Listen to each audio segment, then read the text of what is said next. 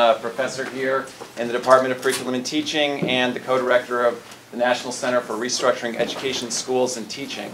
And I'm really delighted to uh, have uh, some time to spend with a number of colleagues um, from Finland. And others here at the college, including uh, myself, have had opportunities to, to visit uh, in Finland, learn a little bit about um, the systems there, and begin to develop um, some relationships uh, which we're looking forward to uh, building on and extending today. Uh, I just want to um, briefly uh, welcome all of you and uh, introduce in a minute Danny Friedrich, who will moderate the session, but also uh, welcome Jari Lavonen, who will have a few comments right yes, now. Yes, just a few. So I'm Jari Lavonen, head of the Department of Teacher Education, Helsinki University. So I'm so glad to have this possibility to be here on the behalf of our, our team. So we, we are very much looking for, for this meeting and, and, the, and the discussions we will have today.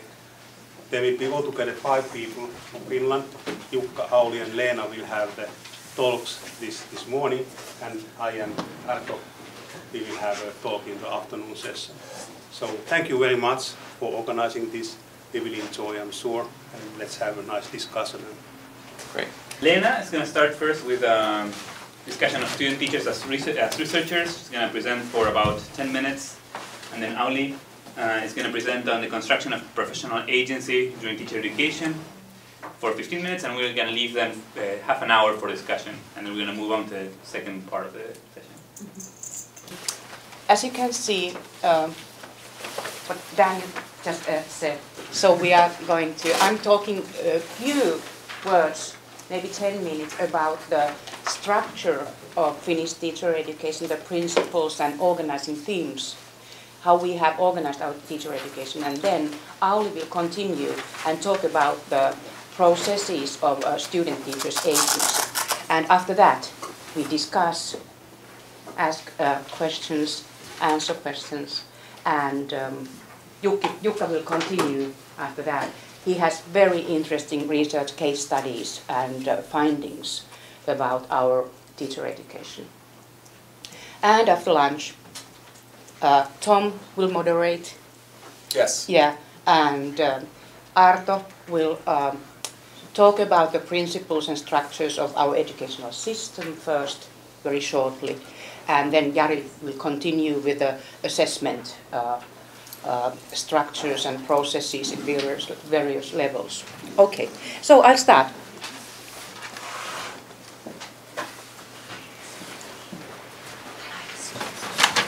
Um, in Finland, our teacher education um, has been academic university-based education for all teachers since 74 and 79.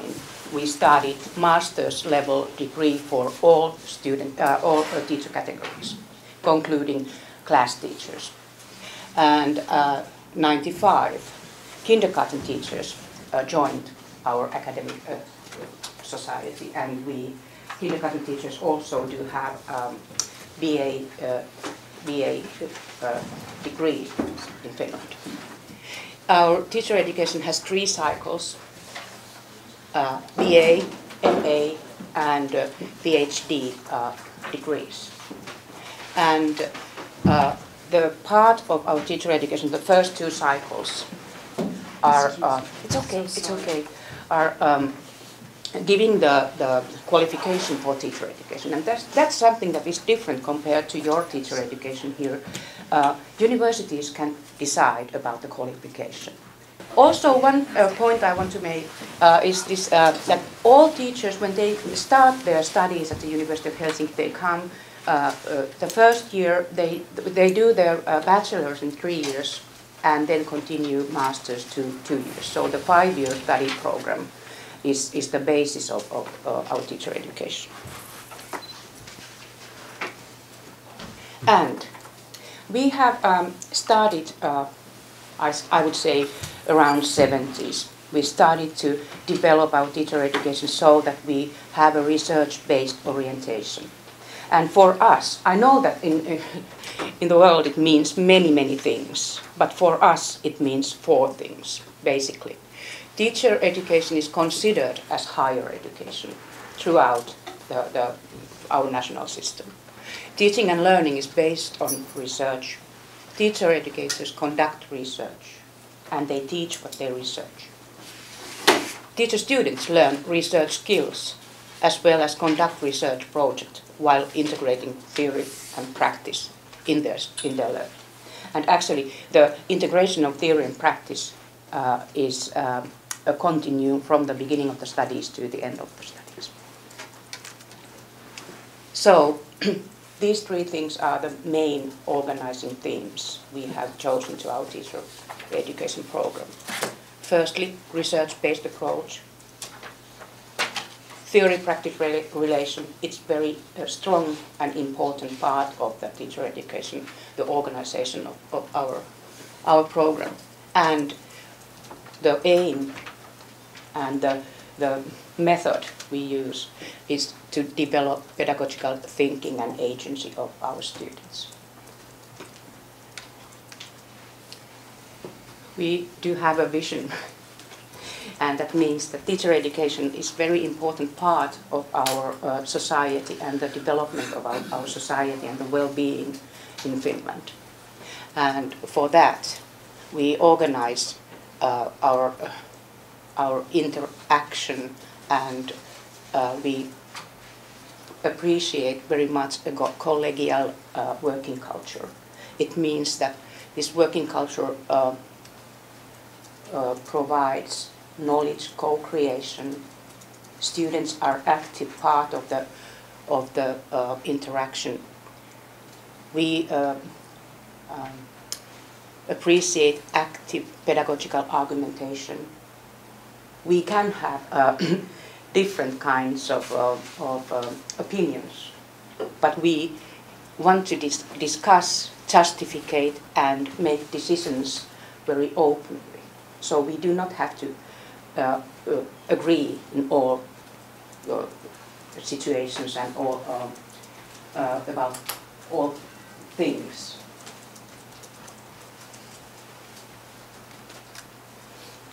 So, as you all know, we have different kinds, lots and lots of different kinds of models of teacher education. And this uh, uh, gives one possibility to organize these uh, programs. If pedagogical thinking is intuitive and the model of structuring the action is inductive, we are talking about experiential or personal uh, orientation to teacher, teacher, uh, profession. School-based orientation, uh, we think that it's intuitive but deductive. So the school gives the rules and the, the uh, content to the uh, teacher education.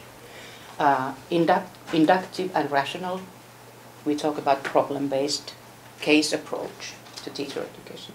And we think that when teacher education is organized like deductive, uh, academic, university-based, and rational uh, pedagogical thinking is, the, is, is used, so we talk about research-based. And for us, it means something that concerns about practicing. Well, I have that one here. okay, so um, uh, our teacher education has a twofold approach to practicing. Practicing, the theory-practice relation, is not only practicing teaching, like we very often think that it's this practicing teaching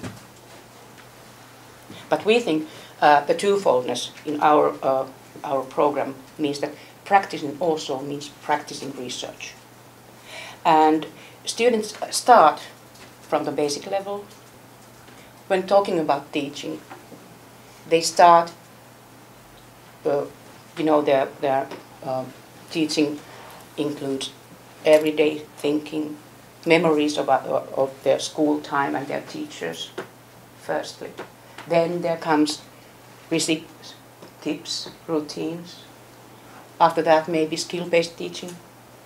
And, but we think that this basic level is not enough.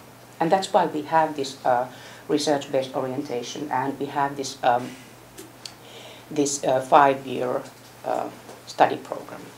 organized, as I said, because we really think that the uh, basic level, the teacher education needs to go to the general level, and uh, it means that uh, practicing teaching has the goal and aim of, of developing student teachers' personal practical theories of education and, and teaching, and their pedagogical thinking and reflection.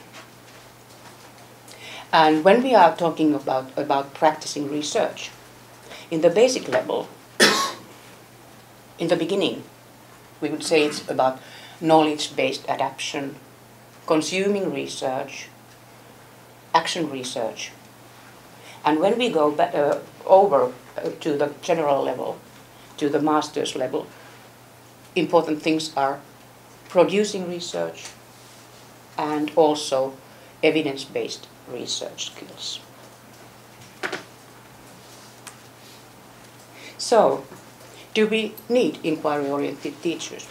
When we have this kind of a teacher education program and uh, organizing themes and principles, we still uh, educate teachers to schools for kids.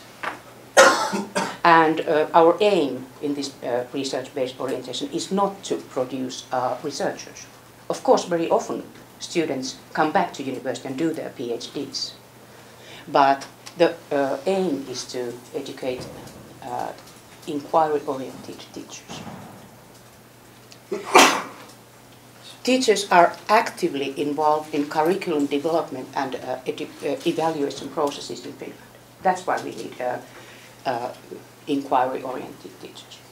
They have lots of uh, power and, and you know, to really develop curriculums by themselves. They need these skills. And also, school is no longer a static workplace. Nowadays, schools open to the, to the uh, society. Future teachers need dynamic competencies. And actually, what I think is a very important thing is that uh, teachers, uh, they work multi-professionally. They have lots of different professionals with whom they work. And for me, that's my opinion, uh, is that teachers need to be the leaders of this uh, multi-professional uh, uh, collaboration. And that's why research-based approach, approach is seen clearly relevant to teachers' work in Finland. Okay, I will continue now. Uh, that was uh, my talk was about the structures. And now Auli will continue with the processes, construct, constructing uh, of professional agency during TA. Please. Uh, uh, Lena presented our program and main ideas uh, of teacher education and, and, the structures and principles. And I will more continue to the uh, uh, topic, topic of professional agency and learning of professional agency during teacher education. Uh, we have a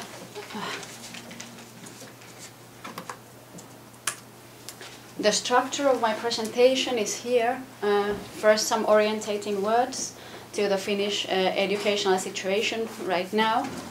Then some words about the theoretical framework uh, of this presentation related to agent, agency, how to become and stay as an agentic teacher in Finnish system.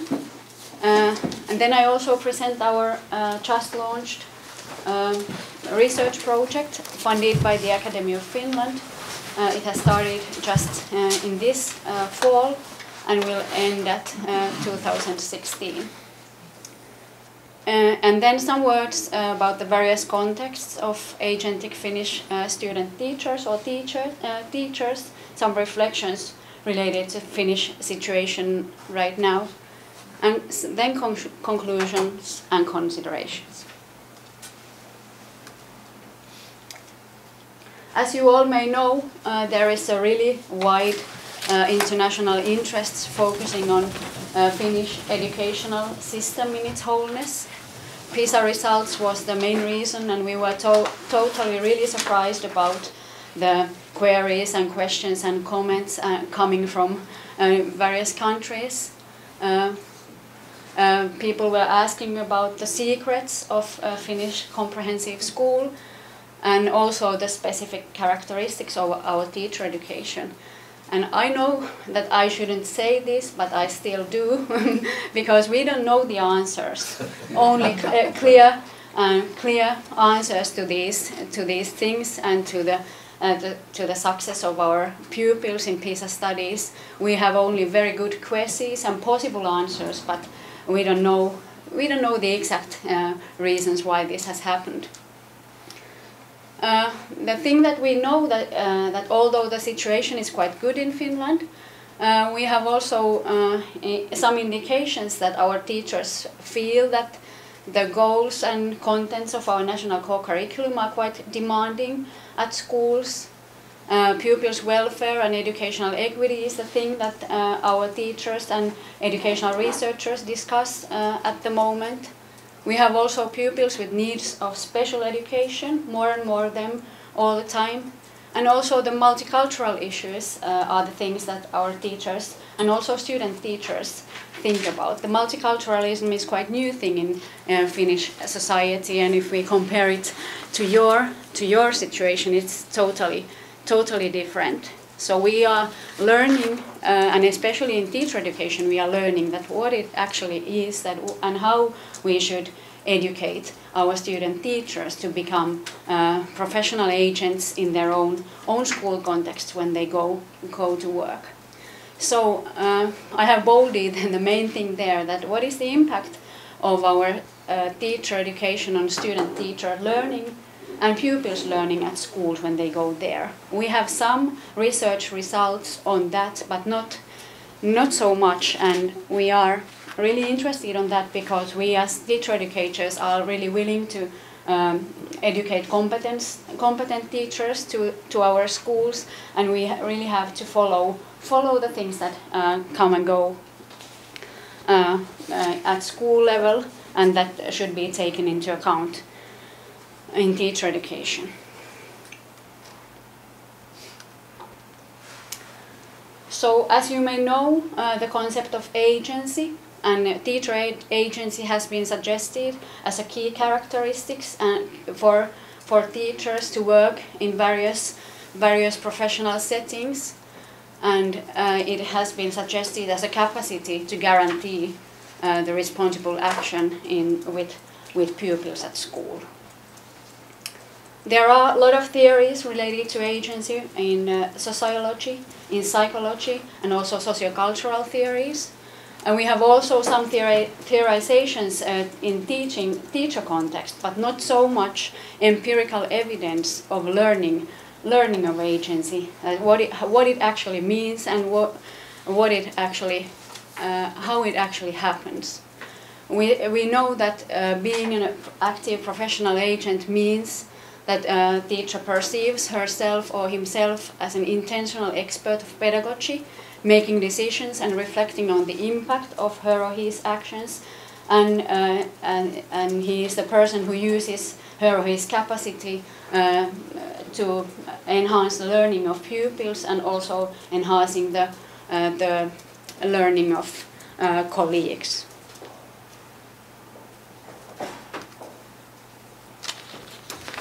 Um, interesting thing uh, about the in uh, teachers' professional agency is that it is it is not a fixed characteristic or fixed thing, but it is rather quite quite relational and interactional uh, thing that happens between between an individual and the context where he or she is working.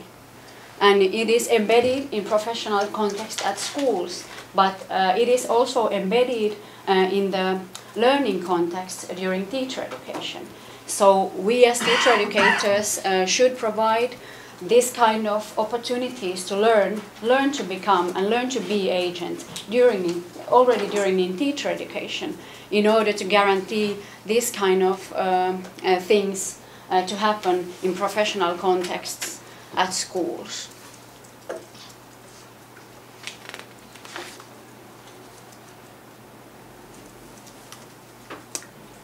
So the basic uh, characteristics of teacher agency require that it should be supported already during teacher education.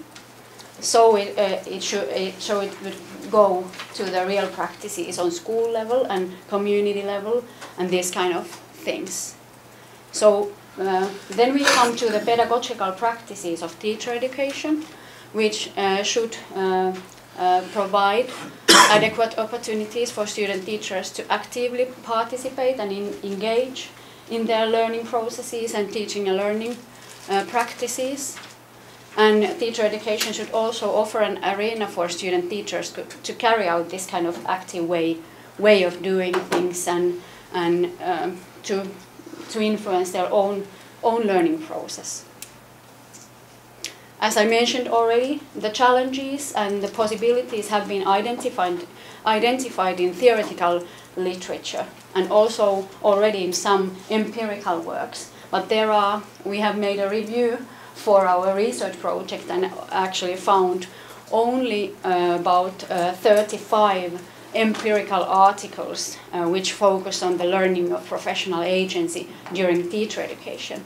So student-teacher learning in teacher education in relation to uh, professional agency. So it is a really emerging thing in teacher education research, but not so not so em empirically uh, tested or identified or uh, or proved yet.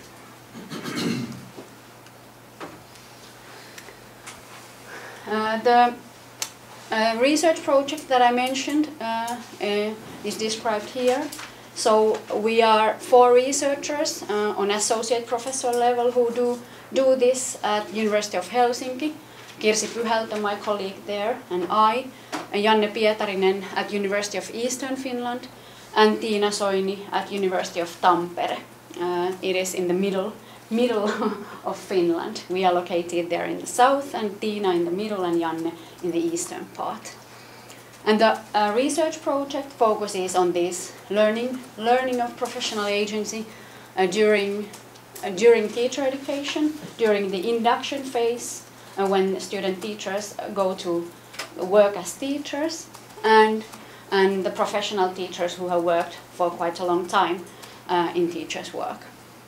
It is a multi-method, a longitudinal study. We collect uh, survey data, uh, video, videos from teacher education, from uh, this induction phase, and also from pro professional teachers, and collect, all, of course, interviews and various, various kinds of qualitative data in order to map, map this learning, learning of professional agency. We have uh, three teacher cohorts. Uh, there were the, those cohorts that I mentioned. First year student teachers when they enter to our teacher education programs. Then the teachers at induction phase at the end of their studies and going, going to, uh, to work as teachers. And then, then these, these experienced professional teachers. And we think that the benefits of this kind of uh, research project is uh, that it, it produces research results on teacher learning and its regulators in various contexts and uh, teachers' professional phases. Um, and help, it helps to identify the learning patterns of uh, professional agency. And also some results about the impact of teacher education. Um, we don't, as I mentioned in the beginning, we know, we know some, some things, but uh, this is the thing that we don't know yet very well.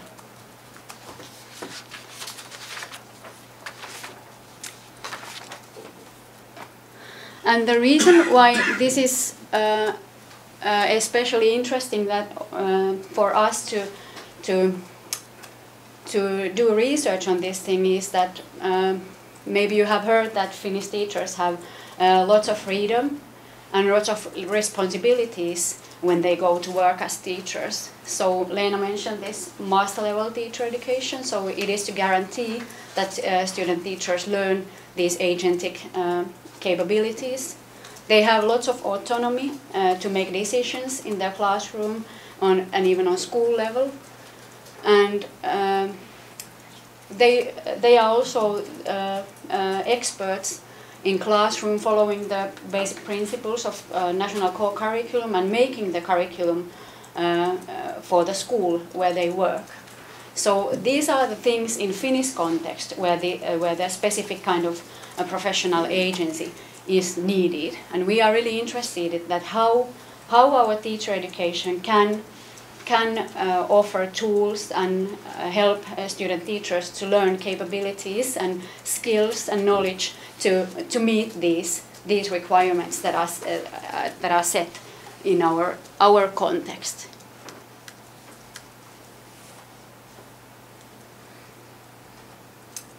You have also heard these qualities related to, uh, to a Finnish educational system or, or the climate, climate uh, in Finland related to matters of education, uh, democratic and consensus-seeking ethos of decision-making in educational policy, respect for learning and education, and trust in education on various levels uh, to teachers as professionals, trust between uh, pupils and teachers, and trust as a general uh, precondition for cooperation. So our aim, in big aim in Finland, to try to to somehow uh, keep the situation like this, so that we could educate teachers uh, to work in a meaningful way and to uh, to keep the situation like this, uh, trust trustful and democratic also in the future.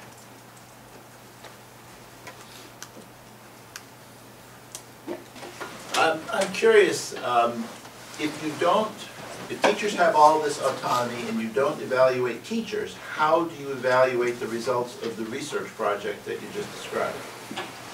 How will you know at the end whether it's better or the same or worse? Or what is the aim, what are you trying to get to with your research project?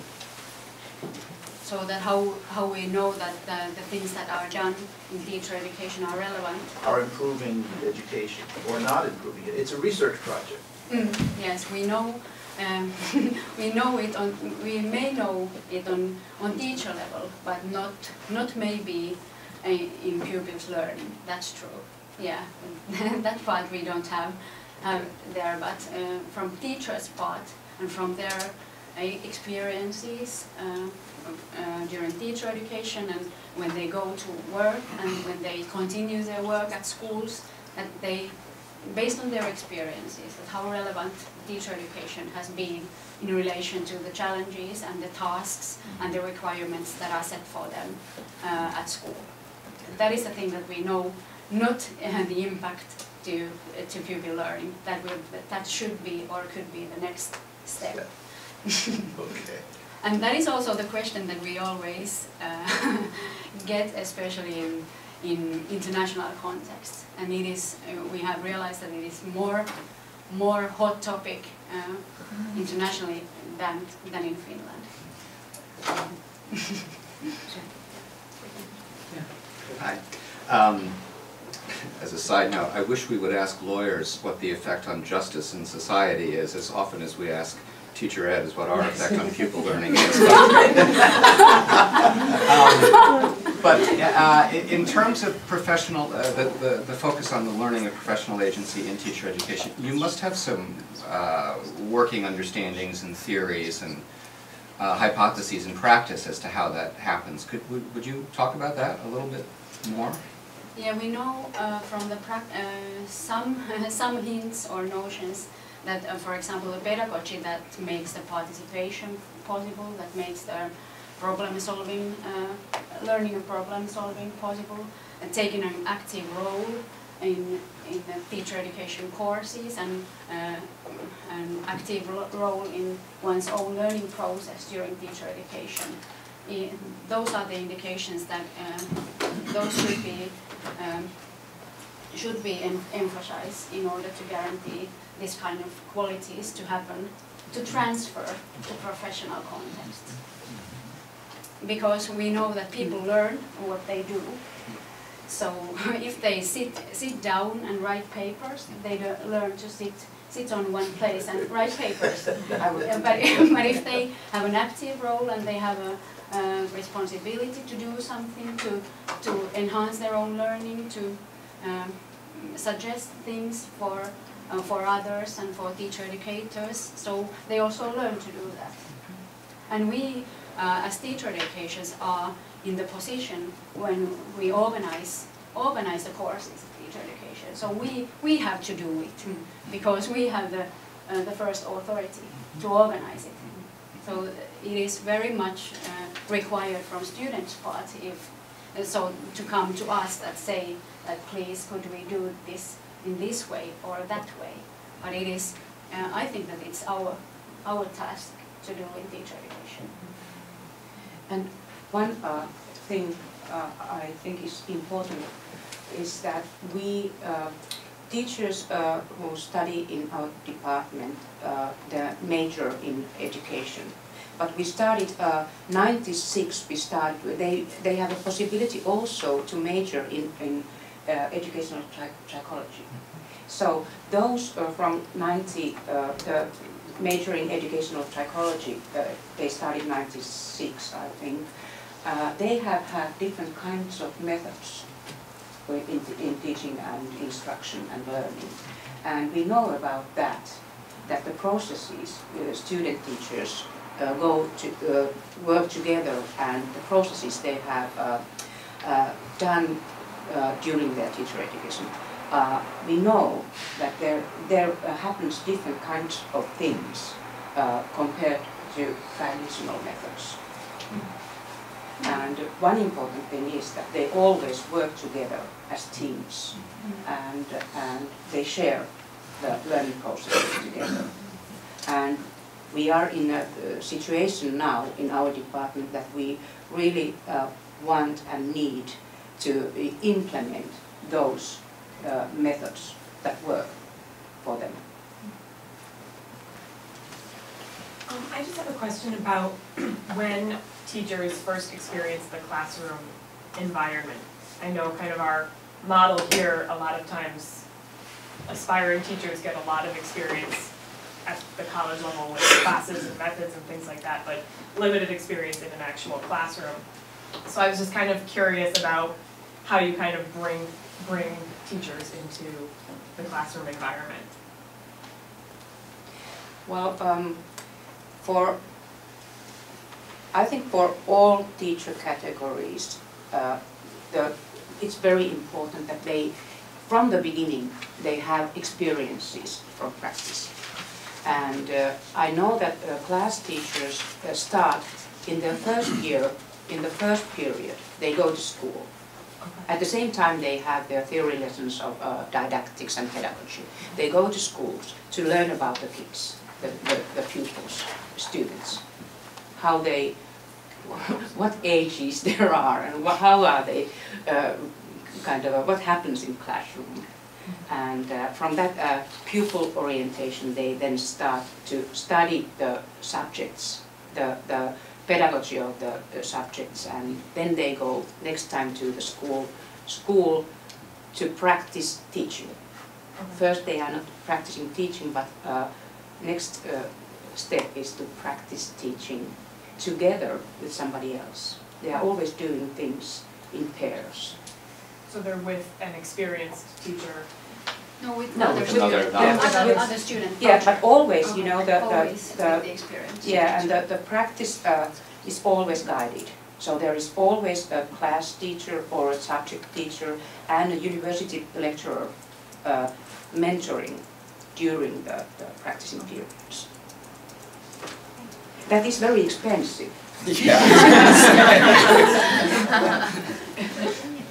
Yeah. I just, I have kind of a follow-up question to the question about your hypotheses about what might produce a sense of professional agency. And I was curious about how you scaffold new teacher learning in teacher preparation about agency. So aside from some of the features of the program that you talked about in terms of, you know, collaborative work and group work, are there assignments or courses or particular experiences that the student teachers have in the program that really help them, you know, specifically learn about agency and develop an understanding? And could you talk a little bit about sort of how you scaffold their learning of professional agency throughout the kind of teacher education program? I think that we don't explicitly use the concept of professional agency, but rather the qualities related to agency, like uh, knowing what you are doing, uh, knowing the reasons behind, knowing the various uh, various ways uh, ways of doing things, and uh, like, um, uh, constructing the uh, professional teacher identity as a part part of professional agency. Uh, I think that it happens uh, through throughout the teacher education, throughout the various courses, various uh, tasks that student teachers do. They can be group work done together, they can be book tests, they can be um, teaching practice periods, they are um, uh, research method courses and uh, writing a thesis. Um, I, I somehow understand that these, all these activities somehow uh, construct the agency of student teachers. Uh, we, we have some data uh, from our student, student teachers and according to their experiences, there are certain courses that are especially important for them, where they, where, where they really test that uh, will I be or could I be a teacher in the future. And the practice periods are very important tests for them because then they, then they really face, face the teacher's work they have to plan, plan the lessons, discuss together with other student teacher and supervisor, and then, then they really meet the pupils and they have to, um, they have to survive at school. yeah, and it, it is really challenging for them in the beginning, especially, especially for those who don't have any experience to act as a teacher in a at school in a teacher position. They, they have experiences, as we all have from schools, during several years as a pupil, but not in a uh, teacher position. And one thing also I'd, I'd like to add is that um, we use uh, that kind of methods uh, where students really plan their own study, their own uh, work. So teacher is not having everything ready when, when the course starts. And teacher uh, gives the uh, uh, planning uh, uh, job to students. They kind of plan their own curriculum, their own tasks, and that's of course uh, one way of, of, of being active agent. Um, I have a couple questions. The, it's about clarifications with the slides and maybe a follow-up question of research nature, but there was one slide that said um, you see teachers as developers of curriculum. And my assumption is there's a national curriculum. There was one of the follow, following slides looked more like the sense of agency came from the enactment of curriculum rather than the development of curriculum. So the extent to which, first question is sort of the extent to which there's an intentionality around the developing of skills as, as curriculum creators or curriculum enactors. So for example, if you went into 10 different schools in the sixth grade in October, would they all be doing more or less the same thing?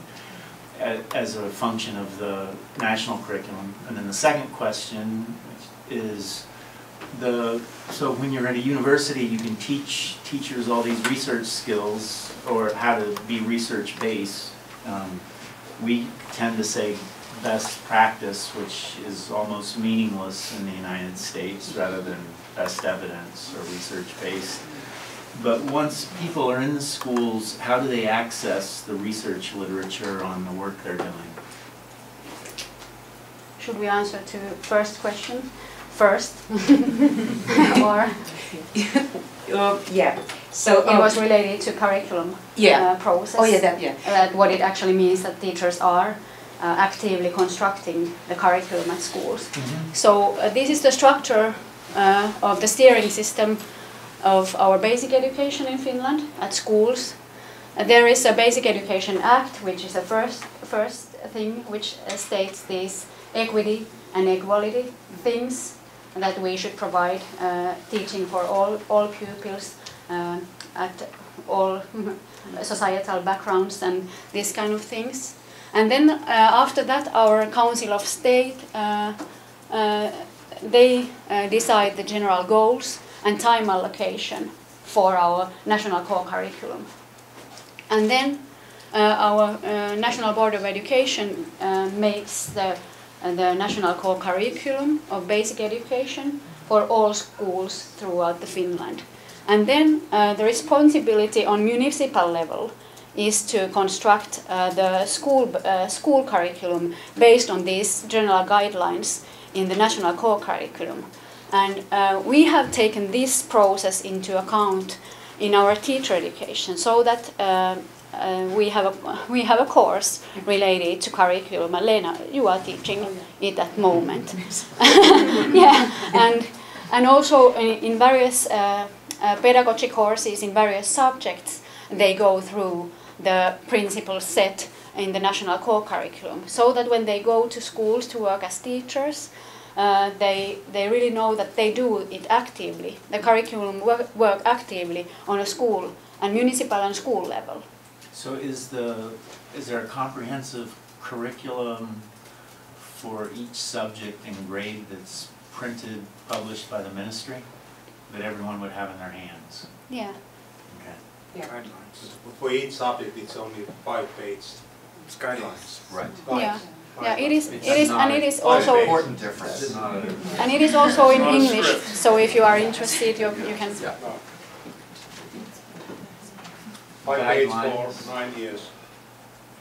It's very, the core curriculum in, in Finland is very open in that way that everybody uh, wants and needs and have to do uh, their own curriculum and they can use their own uh, surroundings and environment and, and the possibilities. wondering. Yeah, yeah. uh, around the school and the, the society where the school is located. Yeah, the specific local characteristics and strengths and uh, the characteristics are taken into account In the in, in the local local curriculum. For example, if in in our in in the school where I was working was uh, was um, in the eastern part of Helsinki area, which is near the sea, and there was a very nice surroundings around. So we had emphasis on science and on biology and these kind of things because the surroundings uh, offers offered specific resources for emphasizing th- these things in our school level curriculum. But I think there are other elements that go into the curriculum design process that you can argue either support it or constrain it. So in the US, we traditionally think of, you know, if, if a, cur- the curriculum is, if we got these new standards and then the curriculum and then people implemented it, it would work. But I think part of the support and the constraint in Finland comes from you have these broad guidelines, but then you have this strong teacher education system. You have text, certain textbooks, a limited number in each area. You also have assessments, right, that tools that you can use. So all of these things go into, you know, they provide people the, um, the, the stuff out of which they can develop the curriculum. It's not like the teacher goes into the classroom and says, okay, I got this five-page guideline, what am I No. gonna do? No, no. The second what was the question about research, how do, once people are in schools, if there's a heavy emphasis on research-based practice, how do they access the research once they're not connected to the university anymore? There are various ways to reach. Um, some of our teachers participate quite actively with our development projects uh, that are mm, organized in our teacher education departments, focusing, for example, ICT in education or uh, science, uh, pedagogy of science, or this kind of things. This is one, one route. Uh, some of our teachers uh, uh, participate very actively in in-service teacher education, uh, which is organized by various institutions, And also universities. also universities. Yes, and some of them uh, are our PhD students. We have a quite huge number of PhD students, part-time students who are our teachers, and then they then they do PhD at the same time. So these are the, but we don't have any systematic way of uh, delivering Yeah. research results for our for our teachers. Maybe- there are many many Yeah. routes. Maybe Yeah. one uh, route is uh, publishing companies. Mm. We have that kind of a publishing companies that really do uh, uh, books for teachers, like, like Teachers College. I, I, I learned my, uh, when I was a young teacher, when I visited here, I always went to the bookshop, your, your bookshop, to buy new interesting uh, books uh, and research uh, uh, books and uh, like that. So I learned from here. Yeah, and we have a quite, uh, the, our teacher union is Yes. quite good in doing this kind of thing. So they have a, a book service for teachers and they deliver information. And also the Board of Education. Yeah, National Board of Education. You have a question? Yeah, um, so there's a lot of research and it seems that the majority of it is really propagated by the teachers, both in their learning process and as working professionals later in their career as well. Um, we kind of have, and I, I say we, I mean, uh, America really has like fifty different education systems in each state, right? So, um, but how do you handle, uh, conflict between maybe a, a, new teacher, they're, they're in the classroom, they have this idea for a particular approach to a lesson. Uh, how do you handle the conflict of the, the research they want to do and their, their justification for using that versus maybe a, a, a more experienced teacher who might not agree with that approach? Um, I have my own experiences with how I've seen that handled here, and I'm curious to see how that, that experience is reflected in Finland. Uh, Well, um, that, that kind of a things happen in Finland too. Sure. Yes, but um, very often um, I have heard uh, that our students actually, you know, um, they kind of uh, go shopping before they take their first uh, place because schools are different. They go to schools and look the curriculums and look the profiles of the schools The and, cultures. and the cultures. And then they may find that kind of a school that's, uh, uh, you know, in the line with their own thinking and their own uh, values. And it may take time to find that kind of a school. Uh, But any, anyhow, um, in schools, teachers can have also different methods, different kinds of approaches to teaching. They do not have to uh, do things uh, in a certain way or same Mm. possible way. And, and the teacher who is responsible for the class is also responsible for the choices he or she makes related to pedagogy, related to uh, uh, teaching and learning materials, related to other other organizing things related to, to And teaching and and learning. assessment also. Yeah, And also assessment. assessment. He or she is assessing what he has been teaching and how. So it's related to the work, what he or she assesses. Yeah, and teachers are free to collaborate with their colleagues, uh, but they, they don't, they don't have to do it related to their pedagogical decisions that they make in their own class. Mark? Some, somewhat uh, related to that, it- when you were discussing professional agency, you focused mainly on their um, sets of responsibilities in classrooms, uh, with a little bit of attention to the school level. But is professional agency also about that level of interactions and in the profession more generally and beyond the school, within the society, or is it um, more narrowly conceived? How how are you dealing with the issue of professional agency as a broader concept of the teacher's role? Uh, We think it as a broader concept. Okay. We are, we are focusing mainly on the learning process of an individual, a student, teacher and teacher within uh, uh, her or his school community and uh, in some, some things related to larger, larger context, context. We understand it as a, as a, that it goes beyond uh, his classroom and uh, interaction with colleagues. And But the focus is mostly on in classroom and in the school. for, for example, in, in the uh, pre-cert, the, the programs that, that you organize, do they get engaged with the profession more generally? Do they spend time interacting with, with the organized uh, teaching profession? Um, uh, attending meetings of, of, of the unions, of uh, the, the- broader political kinds of uh, activities, or is it, again, more of a school focus?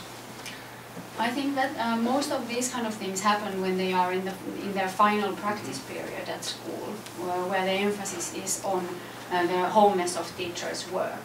They do their final prac- practice period in one of our field schools, which means that they do not anymore go to the university Mhm. teacher training school, but rather a real school uh, operating around the Helsinki area, in Helsinki case. And they attend all the meetings that their supervising teacher has during their teacher, um, the, the, their prac- practice period, meaning that they meet, they can meet parents, they go to teacher meetings, and all kinds of these things, not only focusing on the planning Mm-hmm. and, and doing the lessons. Thank you. Yeah, and also in some, some theoretical courses, they have this kind of context, contents, but in practice, practice periods. Ali, so you were talking about teacher agency and autonomy and the focus on the individual teacher as she or he develops. And then you said that they don't really collaborate much once they get into, they don't encourage collaboration in, when they're in-service teachers. And, or there are no structures in place to encourage collaboration. And when we were visiting schools in Finland, we were struck by the fact that teachers say they don't really collaborate, that they shut their doors, they're never observed. So how does that all get reconciled into understanding practice, collaborating with others for sharing ideas, re- reinforcing and supporting one another, deciding how effective a teacher is beyond what his or her students' assessments show? How do we know, and why aren't cultures of collaboration more cultivated in, for in-service teachers? Yeah, so, um, You know, when, when I Unlike in the rest of the world, of course. Well, you know, we were seeing, in Shanghai, for example, they visit each other, Right, they are right. required to visit each other's classes and Yeah. download on do lessons in studies. Japan and, you know. Uh, when um, I started as a teacher in, at uh, it was 70s, 77, Gary about the same time, I think. So, so um, the uh, we had this uh, change in our uh, school system. Uh, the comprehensive school was changing, and uh, uh, at that time, uh, our curriculum, the core uh, national curriculum, was very strict. We did exactly the same things, exactly the same time in October. Every sixth grader had the same things going on, and and that that time we learned. Uh, my um, age uh, uh, people learned to work alone, to work with textbooks, uh, doors closed, and um, that is has been changing now from uh, that time 40 years and still it takes time to learn new cultures to work together and very often in finland teachers work alone because they have this old culture that we had in the 70s and changes happen quite slowly. But for example, the curriculum process is the one that where, where teachers work together. They are required to Yeah. work together. it was a big have- change in the 90s Yeah, yeah, Yeah. it had changed in 1991. But still in other, other things, uh, our teachers are not required if they don't want to. We have time for one more question and then we can continue the- that later. Yeah. Okay, um, sorry for taking the last question, but, um, this is related a bit to the discussion earlier about, uh, beginning teachers, experienced teachers, how they recon, like, new generation teachers and old generation teachers, how do they reconcile the differences? Because you mentioned that, uh, while they're in pre-service, uh, they work in groups. And I assume that when they leave the universities, they are, they, they become, they go into separate different schools, they experience some kind of culture shock. Is there any scaffolding in a, or infrastructure that exists in schools that allows for these, these new teachers who are used to working in groups? And now they're seeing their colleagues from older generations who might not necessarily want to work in groups. Is there any kind of like, um, process that helps them to acclimate in schools? Like mentoring. Like mentoring, or are there like, um, emergent networks that are appearing between schools, like within the same cohort, I work with, uh, I might not necessarily work formally with another school, but I might share my resources with former group mates that I had when I was in university. Is there something like that? Uh, we are um, developing our um, in-service teacher education at the moment, and one of the big issues is this initial uh, teacher education, uh, the first few years in the beginning. And we are planning, we are um, developing a model where teachers, uh, new uh, teachers, could come back to university and uh, and you know to keep contact with the their peers from, from university. So that's one part of the, the uh, in-service teacher education that uh, is now in process. We need to do something for that. And also in um, in-service teacher education, um, we want to develop the model uh, to combine the pre-service and in-service teacher education so that universities have uh, kind of a bigger part in, in that process. Because nowadays, uh, in-service teacher education is, is mostly uh, uh, done by teachers' unions and uh, municipalities. So uh, it has not that kind of organizing uh, uh, structures as pre-service teacher education. And we are doing that at the moment. All right. So, uh, Jukka is going to present uh, his paper on pedagogy of teacher education for 15 minutes, and then we'll have another block of half an hour to keep the discussion going. I come from the University of Turku, the second largest university in the Finland, and as my Helsinki colleagues uh, always like to remind me, it's the, the second best also. Believe it or not. Uh, before I start, uh, and listening to the, my colleagues and your um, discussions, one thing uh, arises the, the strong and great teacher autonomy that prevails in Finland and seems to um, dominate all the issues that so far we have been discussed. Mm. And also, now when we are in the house of John Dewey, it's, it's quite a. I'm afraid to mention the word reflection. but now, when I have done it, I have done it. have done it. Uh, but I think that the concept and the practice of reflection is very important in the Finnish case. Uh, and when we are speaking very much about the research-based teacher education, I think very much we are talking about reflective stance that we are trying to support with our with our studies.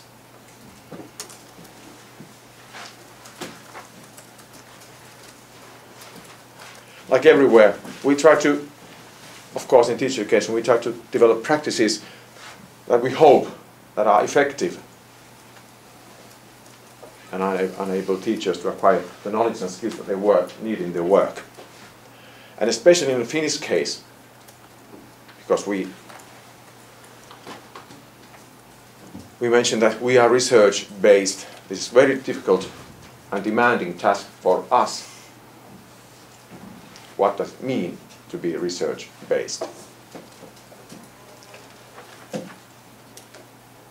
Of course, it's a case of everywhere, the persistent case in education, uh, this theory practice dilemma or division.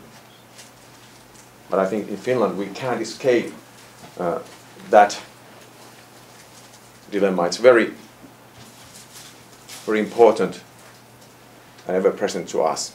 How to connect, construct multiple connections between what we see, what does it mean, and how to make generalizations about it, and how teaching is affected to student learning, and especially here in this case in teacher education.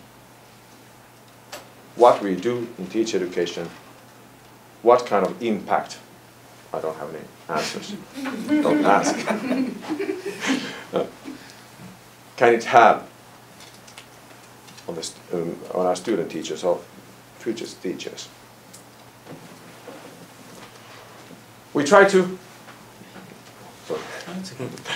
we try to move from when we educate teachers, we try to move from sort of simplistic exp- explanations towards more sophisticated, sophisticated explanation of the actions. That means we must be interested in teacher learning, how it takes place in, in real classrooms where they are practicing, but also during the teacher education courses.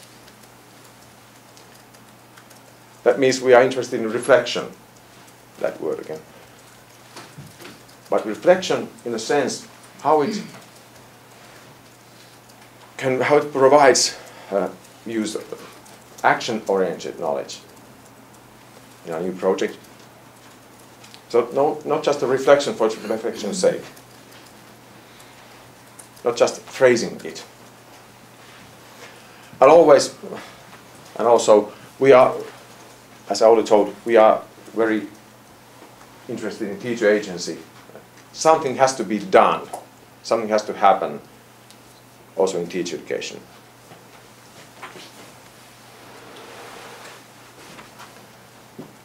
I think you are familiar with these, these basic principles, but that's also uh, our sort of guidelines, what we are trying to do. We have to develop descriptions of practice, what is happening.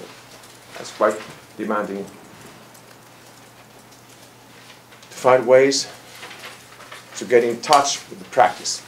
Then we have to try to analyze it, what happens there. Then we have to develop the language with our students, language of practice, the concepts, how to deal and talk with these and understand these issues, and in order to evaluate what is going on. I think that's what we're all doing. And here, our research-based stance, we like to see that it goes through all what we are doing.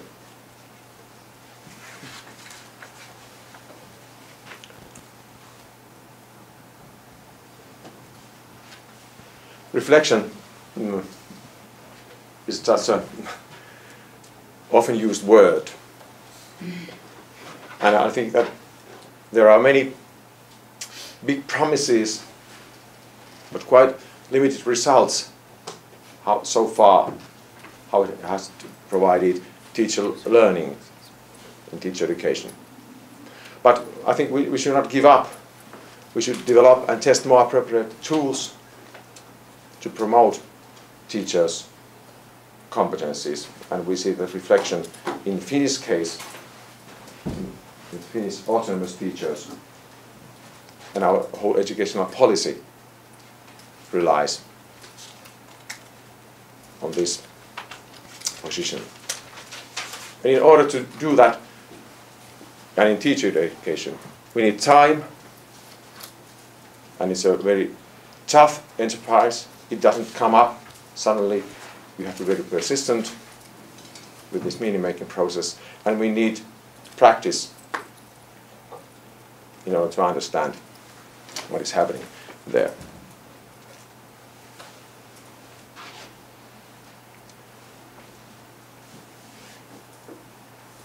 We know that much of teacher reflection is not very useful.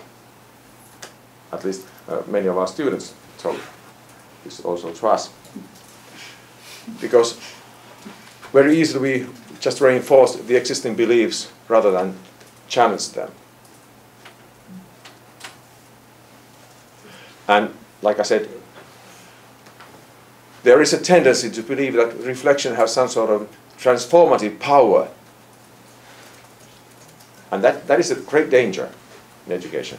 Uh, that it, being reflective is some sort of methodological virtue or some superior insight it gives us to the educational phenomena. But it does not.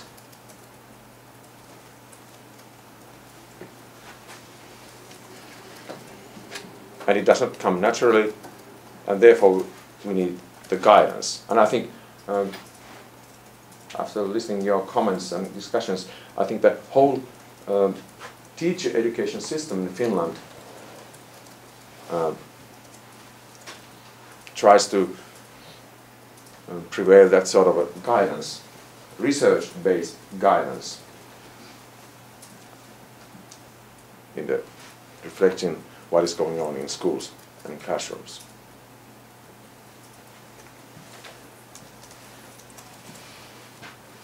Just one example, with my colleagues, uh, how we we have worked, we have developed the procedure of guided reflection. We are doing the, I'm afraid of saying here, the Deweyan framework. We're, we're interested in what people intentions are, what they are aiming at, what is going on in interaction, what is happening there. It takes time we, to investigate it. And there are some practical elements. We use critical incidents, stimulated re recall, and reflective discussions and portfolios. I think this is quite formal and normal to many places. Just to show with this how we work. They are teaching lessons like everywhere. Something happens in classrooms. We are videotaping the lessons. And there are incidents, of course. There are a lot of incidents that are happening a great many things. We can choose uh, either students, student teachers, or the, the teachers, the teacher educators can choose uh, incidents that we are sticking to, that we are trying to open up. What is happening here? And there we will first stimulate recall interview in this first first phase, what happened, why, and so on. And all these can be and should be uh, research, the guidance, how we guide these processes of teachers and um, students is uh, analysis of their work should be guided by our research stance.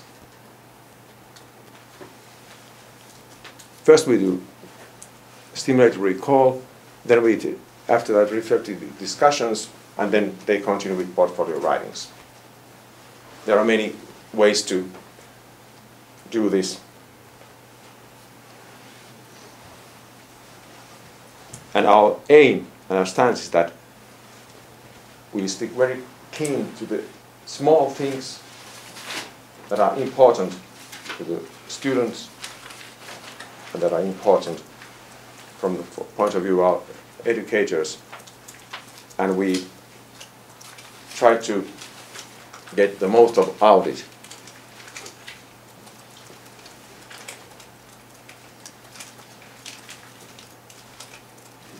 I think I'll I promise to explain, explain the results because I have done most of the analysis in the collaboration. So uh, we have two slides uh, which describe the results that we have got from uh, the procedure of guided reflection when we have used it in the supervision of our student, student teachers during the final teaching practice. And here you can see uh, that we have done the analysis from all the data sets that we have collected uh, with, from the procedure, stimulated recall interview, reflective discussion, and portfolios. And we have uh, used the uh, Fuller and Bounds and Conway and Clark's uh, theories uh, to analyze, analyze the, the data. there are three main categories, self-related reflection, task-related reflection, and impact-related reflection. And it was very interesting to see uh, that uh, the amount of self-related reflection is uh, always the highest during the procedure. But then uh, the task, to the task of teaching and pedagogical things, the task-related for, uh, reflection, the amount of that is growing all the time during the guidance. and even most importantly, uh, the amount of impact-related reflection in student teachers, and these data sets, it also uh, uh, was growing through uh, during the process. So this was very interesting and uh, for us as researchers and supervisors of the practice because we somehow get some evidence that maybe it is worth supporting the, the, uh, the, uh, in this, this kind of guided and very intensive way when student teachers are in teaching practice. And then we also uh, made uh, another kind of analysis. Uh, we focused on the uh, learning strand, strands in their portfolio writings and found four different categories by doing the analysis. It is a long story. I don't tell the details of the analysis, but rather only the main categories. So we, we noticed uh, during the analysis that there are uh, um, strands of, of uh, reflection that are, that are static by their nature and quite inductive. And we named them as description and evaluation of practice. So they just elaborated that what had happened uh, and, and how they felt. Then they also had this kind of deductive ways and uh, static reflections, uh, which we named as description and evaluation of prior knowledge. So they had some, some kind of prior theoretical knowledge that had, had some relevance to practice, and they just uh, thought about that. Then these were more interesting categories for us, learning from prior knowledge or theory. They somehow showed in their, uh, in their phase of reflection that uh, they really, it was a deductive way of uh, thinking and there, there, was, there was a dynamic character, characteristics in that, so that they really uh, had, had learned something uh, during, during the process. And this learning from practice was also dynamic by nature and inductive by its course, but still they showed that uh, they really had learned from uh, their practical period, uh, practic practicum period in, in teacher education and learned something new, new uh, uh, during the guidance. Yeah, this was a short, short description. um, more detailed things are can be found from the articles. And I hope that uh, with these two examples, uh, we'd like to present that how difficult, how slow it is to build reflection that ends up as a student teacher's uh, hope, we hope knowledge base that will help her or his in his work.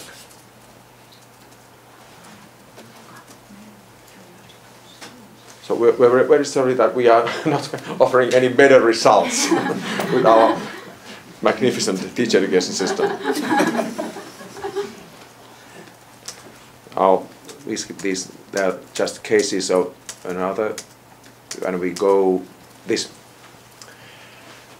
Related to the uh, those two studies that are, that are um, sort of a starting point for our project that has just started at the beginning of this month. It is European Union funded development research project supporting student teachers action-oriented knowledge. That is um, partly based on our work and now we have very many prominent European colleagues that we are working with. and what we are doing. We like to know what knowledge students, teachers find useful in their teaching. That's, that's one of our main, main issues, main, interests.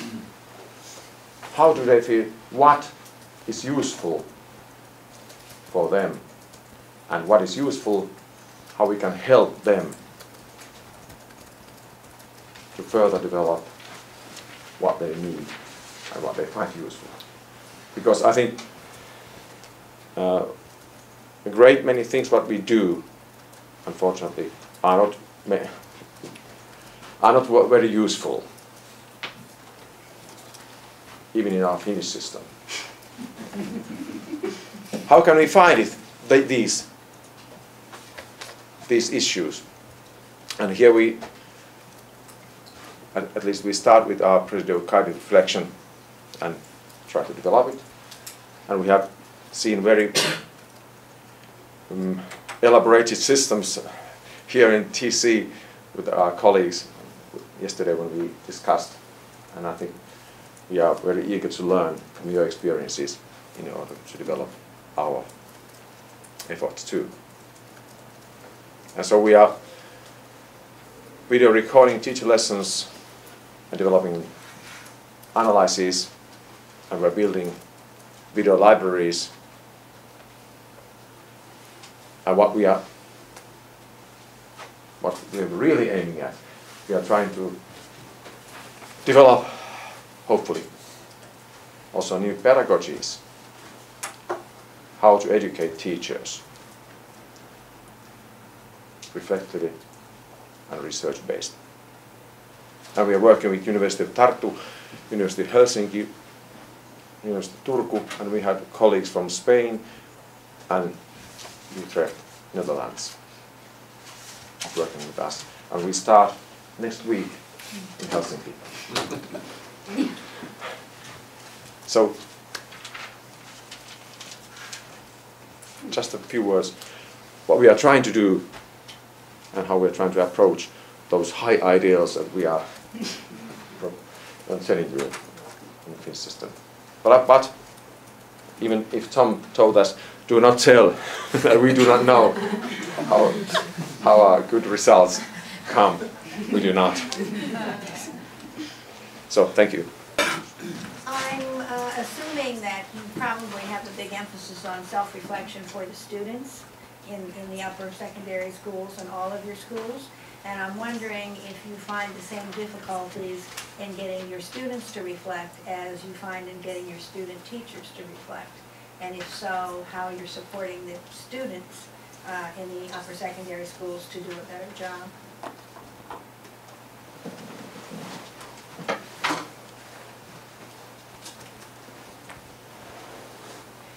It's very difficult. We, we know from Yeah. trying to teach our students, yes, yes. Yeah, but, um, well, I think that, um, it uh, goes both ways, kind of a, um, top-down, bottom-up, you know, the practices. If uh, teachers are reflective and if they uh, have learned to, to be, to be teachers in, in a certain inquiry way, they use those kinds of approaches to, with their students, and then students learn these skills too. But, but um, very often, of course, students, uh, their agency is very narrow in upper secondary or, or, or lower uh, grades. They kind of have the roles, the dynamics of their role is very narrow. And it, it needs skills, the teach, the teachers uh, need skills to broaden the agencies of students. And very often that uh, happens, or possibilities for that, is to broaden the learning environments. It's not only the classroom where you sit in rows, but you go outside the school and give agency, the transformation of the learning environments uh, gives possibilities to broaden the, the agency of, of the students. Because they really, uh, uh, they uh, act differently in different uh, uh, environments. And I think that most of, um, much of this reflection of students at schools happens through our assessment practices that our teachers use. They, they, they don't use only tests at the end of uh, uh, certain periods, but they also use a lots of self, self-assessment things. They also put their pupils to set their own goals for their learning, and they discuss, at least our younger teachers, or, or modern not so traditional teachers in our system, they use various kinds of uh, ways to do assessment and peer, peer assessment. So this uh, offers some possibilities for this self-reflection. And what I am doing, why am, I am doing it, how should I do this work? Or I had a question about the, um, some of the results that you had from the reflection study when you uh, shared those critical incidents with the student teachers and um, had them reflect on them. Did you have any data or any information on whether their actual teaching practice changed as a result of engaging in these kinds of experiences or having a chance to identify critical moments and then reflect on them? So I guess I'm asking really about the impact of ref the reflective opportunity on their actual teaching practice, whether that was something that you had an opportunity to look at or get any data on. Yeah, we have uh, some some hints of that uh, based on the portfolios that they uh, wrote uh, at the end of uh, end of their practice period, where we ask them to to give comments about the procedure and also about the experience to be videoed during the teaching practice and and um, about the, uh, the discussions, the interviews that we had after the videoed lesson. And all of them said that it was quite exciting first, uh, but uh, they also felt it useful because they had to look at their uh, teaching from an outsider perspective uh, after they have taught the lesson and um, discuss about it in very analytical way so that uh, we watched uh, the whole lesson with the student teacher together, sat, sat, down together and went through the lesson and, and discussed about the uh, events that happened there. Most of the, uh, the notions that we, they made were related to their way of being in the classroom. They were quite quite critical towards them themselves. Why am I doing this and why am I doing that?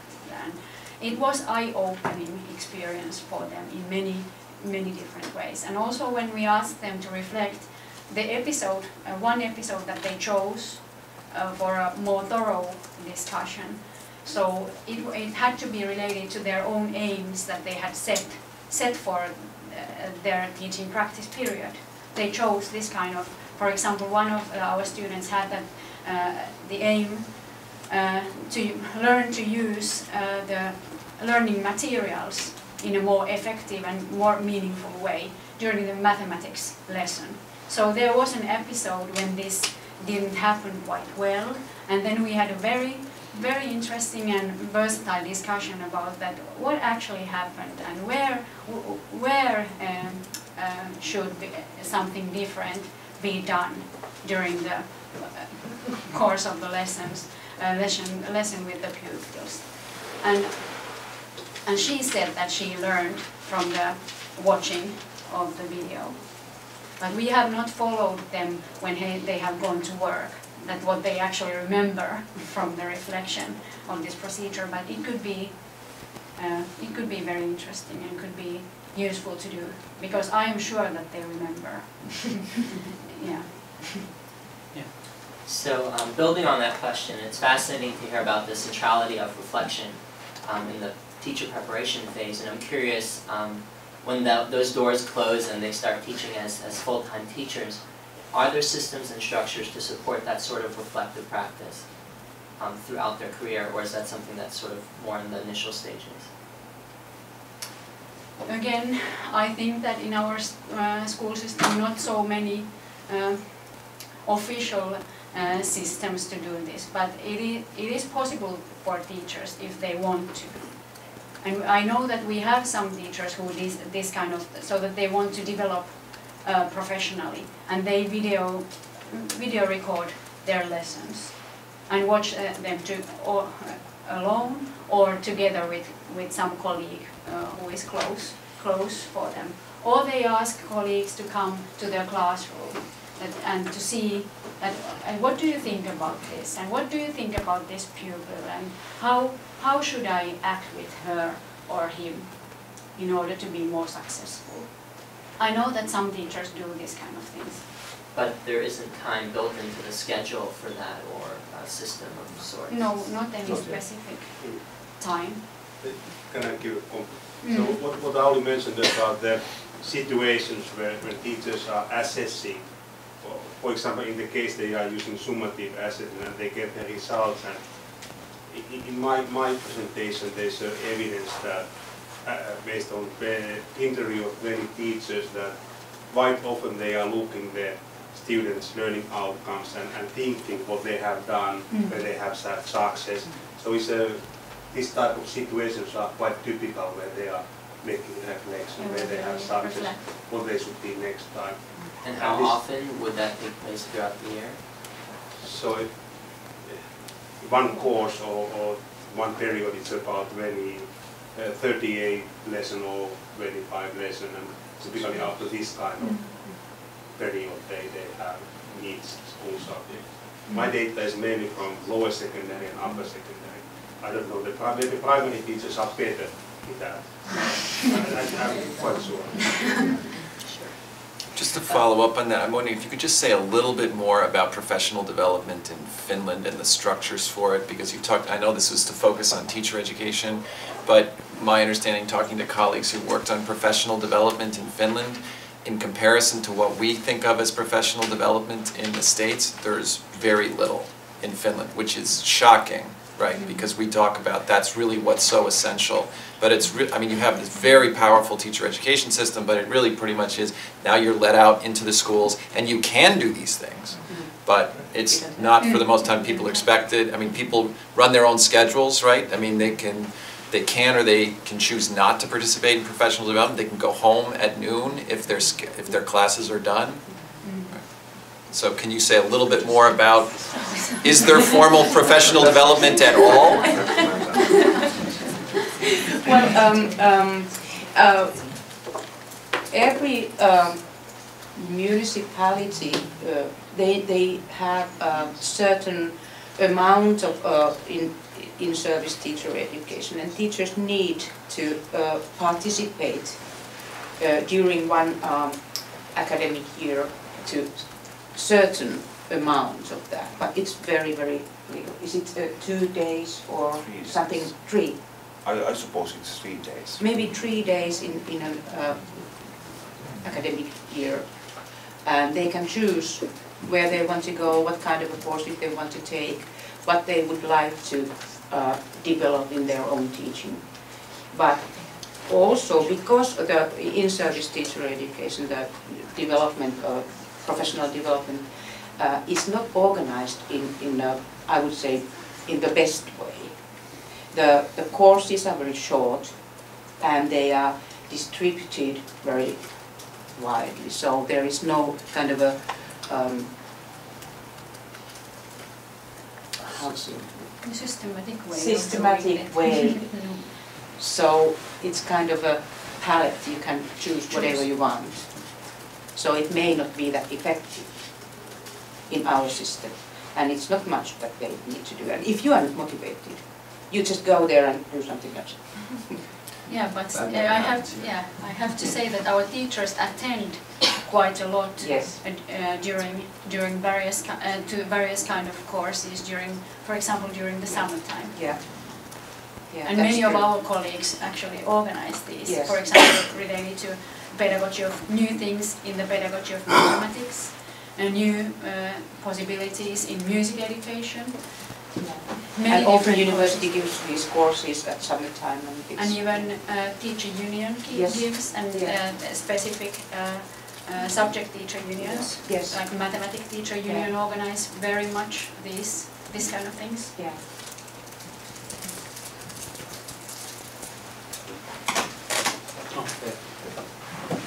I don't want to take more than my share. Um, So I, a question, or maybe two questions and comments about the learning in reflection and possibly related to the, to- related to the question of agency and how agency is learned. And I'm sorry if this has already been established, but it, it seems so important uh, to me that I'm going to ask it in case it hasn't yet been established. So as I, as I, as I read um, Dewey and like how we think, he argues that reflection really only occurs if the thinker experiences a problem. Um, and that it can't be a problem that somebody else attributes to the thinker. The thinker herself has to.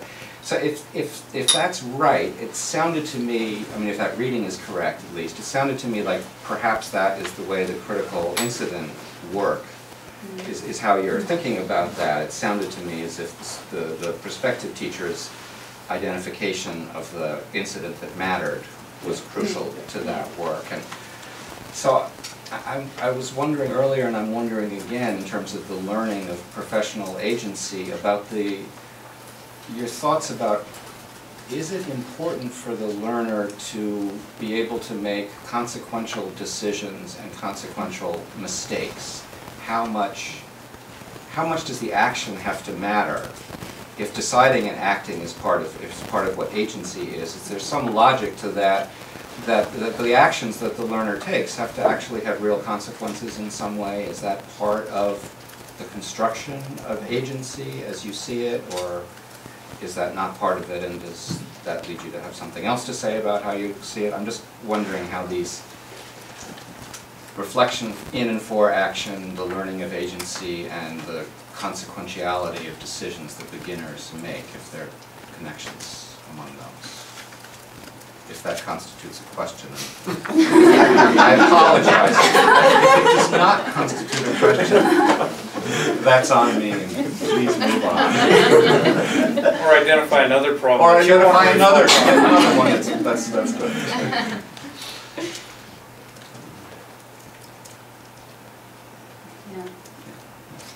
Yeah. That's a problem with the jury.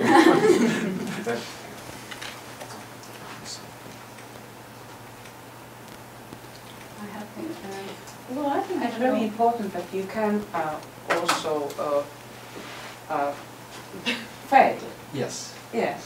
I- In, I think in pre-service teacher education, you know, in these uh, um, uh, teaching practice uh, uh, periods and uh, practicing uh, these uh, lessons uh, when students uh, plan and, and uh, instruct, if they do not have this possibility to fail, they, I think, they uh, do not have possibility to reflect and kind of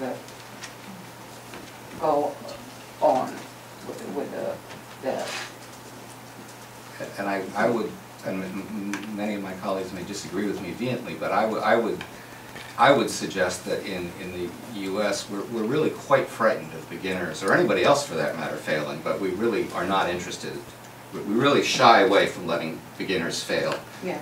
um, not out of concern for their tender sensibilities, but out, out of concern for the argument, well, you wouldn't let somebody who hadn't been taught well do heart surgery, so why would you let somebody teach if you didn't kind of know that they were going to be able to make everything work anyway? Others may say that's not a problem in our system, I don't know. I've had more than my turn. Thank you. Uh, I find some information about this in-service training. So according to recent national level monitoring, based on the representative sample of teachers, uh, about 66% of the physics and chemistry teachers and 67 of biology and geography teachers has participated in in-service training during the last three weeks, uh, the last, last three years, in, in addition to those they have to take. Yeah. And typically the municipality has paid in half of the situation and in, in 30% the training has been free, it organized by the National Board of Education and uh, about 15% have paid themselves the training. So I think it's quite good. To pay for 66 that. during the last three years, for, for uh, one week or something like Yes. that. kind of a, to add to those uh, Add, add compulsory- knowledge yeah. in the pedagogy or, or in the discipline also. Just So I don't know that this is a question, I guess the question is, what do you think of this? It's more of a comment, but um, I was thinking that a big part of your approach that maybe you haven't stated explicitly, but certainly is throughout this, is you're establishing professional norms or work habits around reflection, collaboration, and evidence base, that all of the work, these and probably a handful of other things, are at the center of all these things, so that by the time someone's out and sent out into the world, you hope that really what you're impacting is how they think and what they do and the relationship between those things, but you're establishing norms of thinking and behavior. In, in this, most of my work life, I've been in schools, the last three years I've been here at Teachers College, but those norms don't hold in schools in the United States. Reflection, collaboration, or use of evidence. And maybe the norms that are actually in practice in schools here don't align with the norm, professional norms that we would hope to promote here at Teachers College either. But I'm wondering sort of about that relationship because so much of mm, practice and education is disconnected in this country. And those norms, other people might want to comment on this, but the, so you might not need as much professional. What triggered it is maybe you don't need as much professional development because here, sort of the prof- people's professional lives, they go to work and then when I get out of school and I can go to professional development, I can revisit my professional life or those norms. But there's this big disconnect between what actually happens in the schools and what we would hope and educate people to be happening in their practice. Well, I think well, one thing we need to uh, remember when we're comparing United States and Finland is that we are around 5 million our inhabitants. So uh, it's so much easier for us to, to um, compromise, to develop to certain direction than in this kind of a country you have uh, 200, how many million people? Three. Three. Three, oh, really? Here or there. So, um, Well, we're a small country compared to China, so. On the other hand, member states are about equal to Yes. Finland, five Yeah. million, and they have independence, so it it could be compared yeah, to one member state. in that level. Yeah. I, I think that those kind of comparisons are very tricky because in, in a way what is difficult is to compare the whole context, right? So you have, you're talking about strong unions, you're talking about uh, a system in which there's autonomy to teachers in the classroom. You're, you're talking about um, teachers that are taught to do research within their, as, as an integral part of the teacher education but also what is beyond that school. So that role of teachers as almost public intellectuals, as, as, as people that are involved in the world in a different way. There's a different role for the private, private sector. So while I think it's very important that we do these meetings, that we learn from each other, simple comparisons are very difficult to make. Yeah, I just want to be clear, I wasn't No, no, trying to no. make a comparison. Because I think, um, we could go on for a long time about the context and social factors and the distinctions which really don't allow comparisons to be made. But a lesson, sort of, it seems like it's worth considering is the degree to which Finland has been successful at professionalizing teaching and establishing norms that hold when people practice. Well, it- a- but establishing is an interesting question, right? So, uh, you know, wh- when did this happen? Where did these come from? Did it build on, I mean, you know, to- can you, can you ever create something out of nothing, right? What was there previously that allowed these things um, to But happen? they've changed the professional norms from the time that Lena was saying she started teaching to what exists today. How did that, I don't know that there's a comparison or what the lesson is, but there's been a change, right? It happened somehow. And I think that's what's really interesting to try and explore, and it's very hard to get back at that. But I guess I was really struck by the notion that we're starting and we're talking about professional agency, and I think when we talk about it, that in this country, we think of that as an individual characteristic. And mm-hmm. Auli started by immediately talking about it as an interactional characteristic, right? Mm-hmm. As a characteristic even within a particular, like organizational context, but I think you could, we're also, in a sense, you could also make the argument that it's a system characteristic.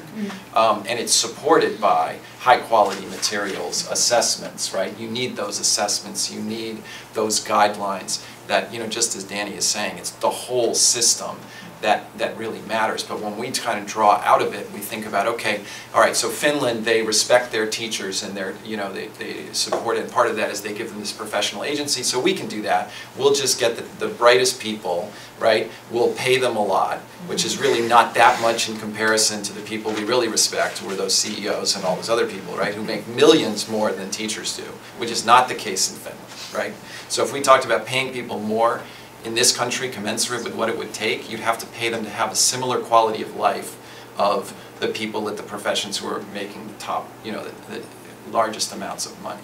So we really have a very individualistic notion even of what agency would mean, and we'd have to transform that in terms of, you know, trying to think about making those, um, those comparisons. But trying, that, that notion of sort of for me, that's part of what makes the Finnish example so interesting, is that it, it really doesn't seem to have always been this way, right? And even if it's only going back 40 years or 30 years, that's still a pretty interesting change.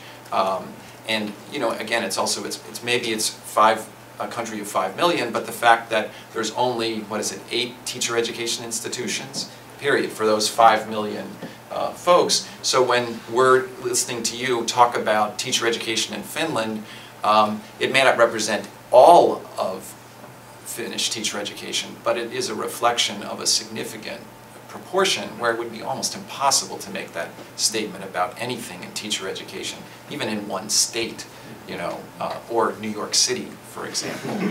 Um, or one college. Yeah, one, yeah, Amy, would you like to talk about this? Yeah.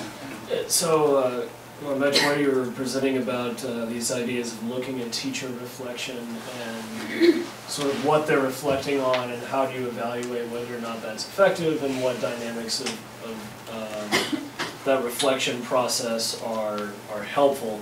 Um, I'm curious if you ever looked at other disciplines where reflected, where reflection is very key that aren't teaching, but that use specifically video reflection. I'm thinking uh, just from my own experience in, in athletics, athletes and professional athletes, like uh, I was a martial artist, and when you train a fighter, uh, there's a lot of overlap actually between training a fighter and training a teacher.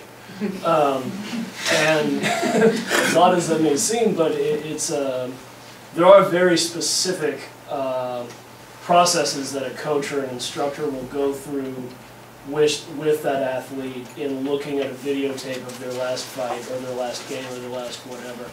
Um, and after a while, that, that person then takes it on their own to engage in that practice by themselves without that guidance. But I'm just curious if you've looked at outside industries beyond education for um, suggestions on how to inform educational reflection. No, maybe not, not on that way, but as you said that you can see a lot of things when you look at the videos. So, and that was also the comment from our student teachers that they see a lot of things from happening and coming and going in the classroom when we have when they have the possibility to see the video, and compared to that when they when they were there uh, and uh, teaching during the lesson. So that was similar to, to your. Yeah.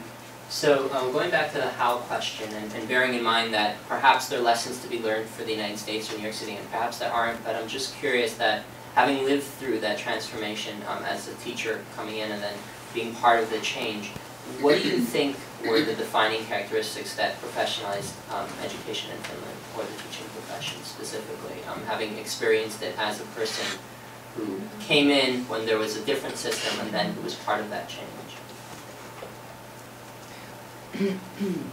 well, um, I think uh, one of the the things in Finland is that we have um, uh, the act uh, that uh, kind of uh, specifies uh, our uh, teacher uh, professional, the elements that we need to teach in, in teacher education programs. So they need to have, it's not, we can't not decide by ourselves in our teacher education departments what we are teaching for them. Because they, they are getting the qualification uh, during their studies or in the end of their studies. So there are certain elements in, in all teacher education programs that must be there. The, the, the amount of practice, the amount of, um, of uh, uh, major studies and, uh, and like that. amount of research studies, amount of uh, minor subject studies, amount of The various structure, pedagogical yeah. studies related to subjects taught at school. I guess what I'm asking is, we read about how there were new laws passed, and all of a sudden things changed sort of on a governmental level, and perhaps even in terms of the curriculum.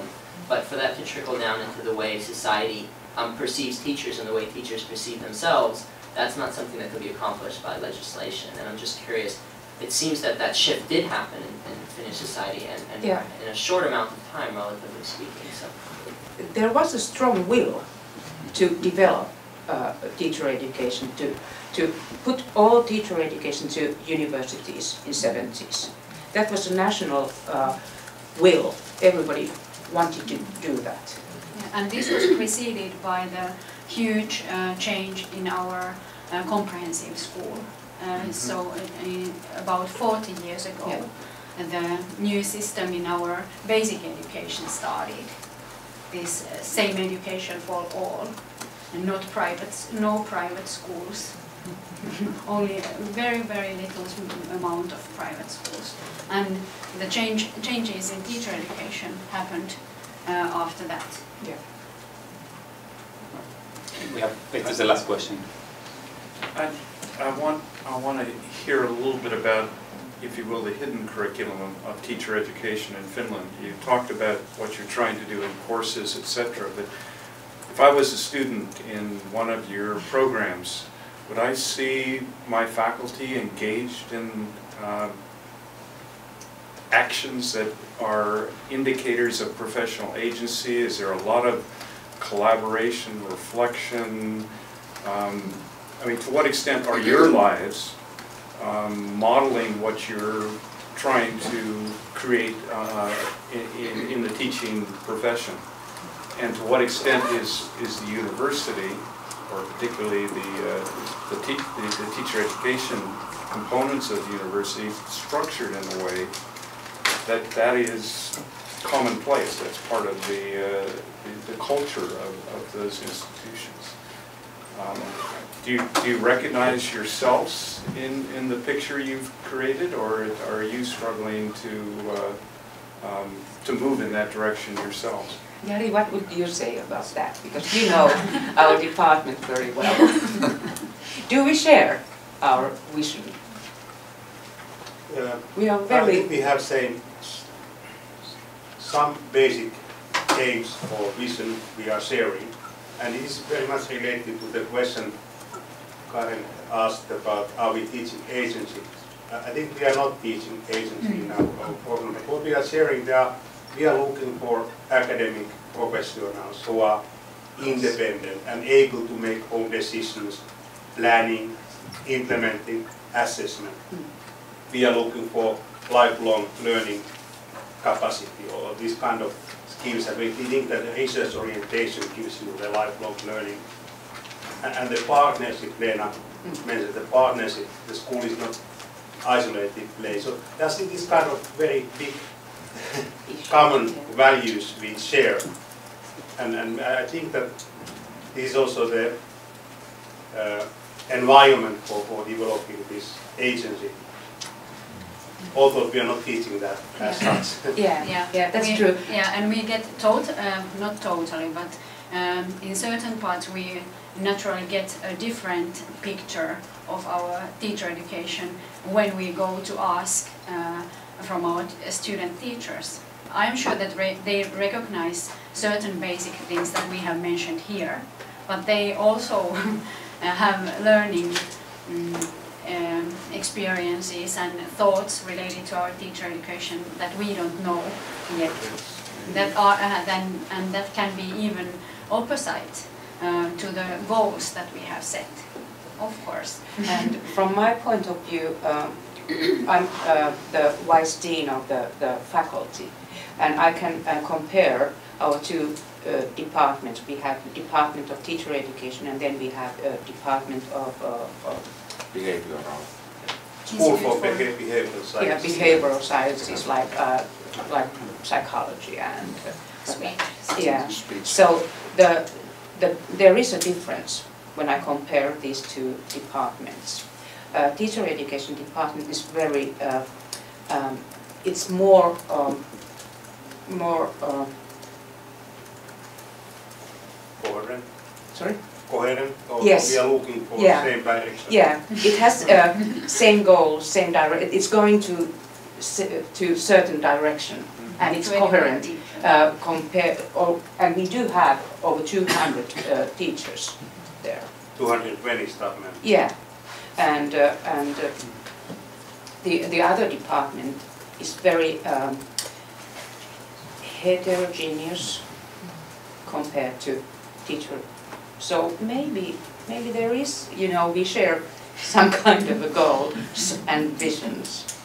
But um, we also, we did uh, our study group, we, uh, we had a research or study uh, concerning uh, those, um, we had a a co- cohort of uh, formerly unqualified teachers working as teachers uh, in our uh, department for, from 2001 till 2006.